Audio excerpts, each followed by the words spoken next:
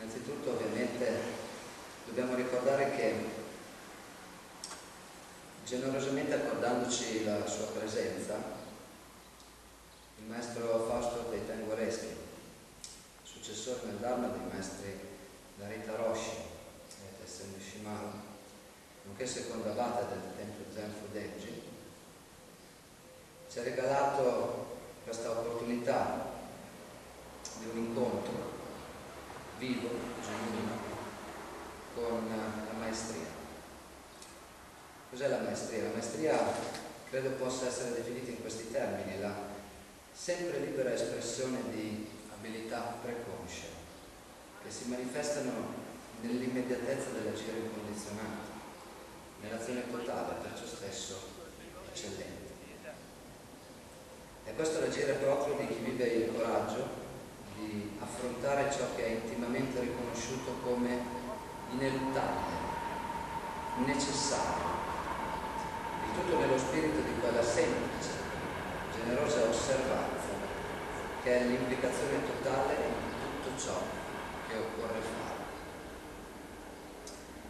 Eh, vedete, non è semplice incontrare un maestro, neppure quando questa possibilità pare del tutto scontata, alla luce di una sua presenza in termini tangibilmente fisici.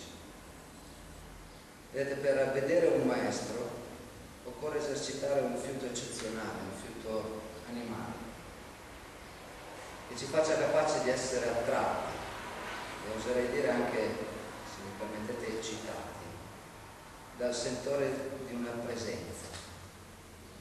Ora questa delicata sensibilità apre allo sguardo poetico, allo sguardo contemplativo, solo con il quale si può realizzare l'incontro si va di bene non con un maestro, bensì con il maestro. Credo di poter dire che non esiste mai un maestro. Il maestro può solo rivelarsi, esserci. Ciò può accadere solo se ci riconosciamo, o meglio, se riconosciamo in noi il discepolo, colui che è capace di vedere che, qui cito il maestro Zen Ryokan, vissuto a cavallo tra il 1700 e il 1800. Dicevo, il discepolo è quello capace di vedere che quando un fiore spensieratamente sboccia, una farfalla spensierata arriva al fiore, così come quando una farfalla giunge, un fiore è sempre salvo. Oggi viviamo un'occasione unica, un'occasione unica di riconoscerci per un attimo discepoli. Ma perché questo accada, questo nostro incontro deve avere uno stile, uno stile che permetta di evitare ciò che Inna definirebbe l'inflazione psichica dell'io. Non ne siamo usciti, comunque non ci siamo riusciti. Non può dunque risolversi in un incontro di io, di tanti io, in virtù del quale ci potremmo sentire in dovere di essere efficienti, efficaci, di rispondere a tono, di non divagare, di essere convincenti. In questo caso saremmo irrimediabilmente irretiti dal pensiero orientato, finalizzato, che in definitiva è puro io. Meglio sarebbe se riuscissimo, meglio sarebbe, scusate, se riuscissimo ad immergerci in un flusso di coscienza, in un'elaborazione cosciente tipica della realizzazione artistica, la quale richiede al contempo alimenta intensità di sguardo, pensiero riflessivo, sensibilità estetica in altre parole richiede l'affidamento a quella consapevolezza che si realizza, che si informa attraverso i sensi. La nostra stessa pratica dell'Atta Yoga è proposta qui, in questo luogo, come una sorta di memento liturgico, dedicato a chi come noi riconosce di soffrire l'atrofia progressiva delle qualità e delle virtù del buon vivere e del buon morire Esercitandoci nell'Atta Yoga tentiamo di recuperare infatti un'autonomia somatica, ossia la fiducia in ciò che si sente, si percepisce del proprio e dell'altrui stato. Ci impegniamo in questa prospettiva perché siamo coscienti di essere delle vittime non incolpevoli di una disincarnazione della percezione. Questo sonno estetico dei sei sensi che il maestro Taiten ricorda essere totalità simbolica che dissolve ogni risoluzione totalizzante, bene questo sonno si evidenzia in uno stato di tensione permanente relativo ad ipotetici rischi sentiti come incombenti. Non a caso sempre più persone si affidano oggi, per esempio, a degli, a degli esami prognostici, neanche diagnostici, prognostici, per sapere come stanno. Questa nevrotica preoccupazione anima un atteggiamento che condanna a temere ogni incontro, ogni avvenire, come qualcosa che colpirà per la colpa di non esserci preparati in tempo. Così vivendo ci autocondanniamo ad un inferno coscienziale, ad uno stato di sospensione atopico e acronico, che è l'esatta antitesi del liberatorio qui. Il nostro stile di pratica, tramite degli espedienti, paia, sviluppa, tenta di imprimere un'attenzione animale, la quale favorisce l'ingresso in una dimensione evocativa in virtù della quale ogni fenomeno può essere interiorizzato come unico, irripetibile, sintomo di una ulteriorità. Per questo ci spiace vedere includere la pratica yogica tra le cosiddette terapie somatiche, che in fondo dei sintomi vogliono solo sbarazzarsi. Vorremmo cogliere oggi l'opportunità di immergersi in quel campo di forze spiritualmente formatrici che è il Sandhyaka, letteralmente il tempo di preghiera, ossia un momento di sospensione del pensiero, di quel pensiero che si pensa, come ricorda il maestro Taiter, così facendo sfrutta se stesso, orientato così com'è allo scopo, alla soddisfazione di desideri e di bisogni, non certo di necessità.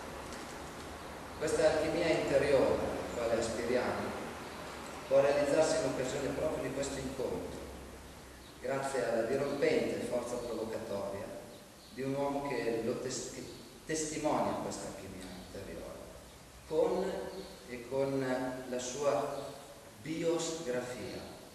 Utilizzo questo neologismo di spicciola licenza poetica al posto di biografia, perché la parola bios rende il senso più forte, più autentico di curriculum vitae come forma di vita.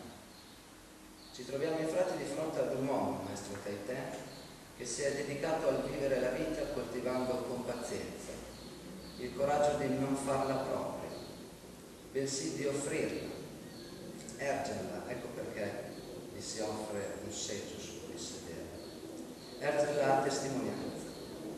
Solo così la sua biosgrafia continuerà ad essere evocativamente emblematica, esemplare. Guardate bene, non una storia vera, ma un racconto mitico, ossia una storia vissuta perché testimoniata, dunque autentica perché narrabile e narrata da testimoni. Bene, quei testimoni oggi potremmo essere noi, se solo accogliessimo l'invito alla contemplazione che la stessa presenza del Maestro Taiten formalizza, così da poter annunciare un giorno, così ho udito e dunque rispettosamente aggiungere una parola, una grafia al racconto, al virus di Fausto Tamburese. Ma per testimoniare, raccontare, occorre che le nostre menti si liberino, liberandosi di se stesse. Possiamo correre il rischio, accettare di correre il rischio di una rinascita, un'epifania del noi come stessi, come dice Dionisio, ipse, dinanzi agli occhi, questa epifania proprio dinanzi agli occhi di quel noi, di quel noi che nel quotidiano solipsismo autoreferenziale ci raccontiamo di essere. In fondo, vedete, le storie veramente fasulle sono quelle che ci raccontiamo da soli, pensandoci. A proposito, vi è forse utile ricordare che fino al 1100 un uomo che rifletteva raccontava a se stesso. Un secolo dopo, lo stesso uomo pensa. Ci siamo preparati a questo incontro costruendo tra l'altro un ponte, il quale è stato posizionato nel punto sensibile di uno spazio chiuso dall'uomo, ossia in quell'apertura, la soglia, che è luogo di accoglienza per eccellenza e che forse proprio per questo ha rappresentato la prima, la prima forma di altare. Abbiamo disposto il ponte in modo tale da non permetterci di superare nulla di ciò che attraversandolo si vorrebbe scavalcare. Con ciò simbolicamente riconoscendo che il vero ingresso nella dimensione dello spirito, nel dojo, si realizza solo quando si riconosce la verità dell'abisso che ci costituisce. Siamo incarnazioni di mistero. Affacciarsi a questo abisso significa prendere coscienza della nostra radicale solitudine. Ciò che solo può raggiungerci dell'altro è la parola che accogliamo per fede. Solo un discepolo può affacciarsi sull'abisso di questo ponte seguendo il maestro mentre lo attraversa, ossia nell'imitarlo nella sua disponibilità ad ascoltare la voce dell'abisso, la voce del silenzio. Confesso di vedere nel maestro Gaiten una sorta di seno cristallo, una parola che ho mutuato dalla geologia, proprio per ricollegarmi al fatto che egli è l'autore di un libro intitolato Fatti di terra. Orbene, seno cristallo è un termine che indica un cristallo che non deriva dallo stesso magma da cui ha origine la roccia ignea nella quale lui è incastorito. Il maestro Gaiten infatti è un prezioso corpo estraneo, un uomo di un'altra pasta, di un altro tempo, anzi per essere più precisi oserei dire di un tempo altro. Egli vive infatti il tempo e nel tempo della sintonia. Ricordo che un giorno raccontò di come lui stesso non capisse le parole del maestro De Shimano, il quale si esprimeva in una lingua straniera.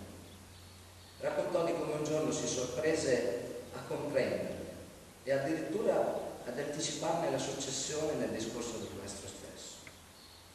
Tutto ciò credo che fu possibile perché il maestro Taiten si abbandonò improvvisamente all'evidenza dell'essere agito dal mistero custodito da quelle parole, come direbbe Dante, dall'amore che tutto muove. Quelle parole non dovevano essere collegate tramite ermeneutica, ma dal pensiero contemplativo capace di ascoltare la voce degli abissi che siamo e che solo la grazia di un istante, di un istante di simpatetica sintonia può farci comprendere.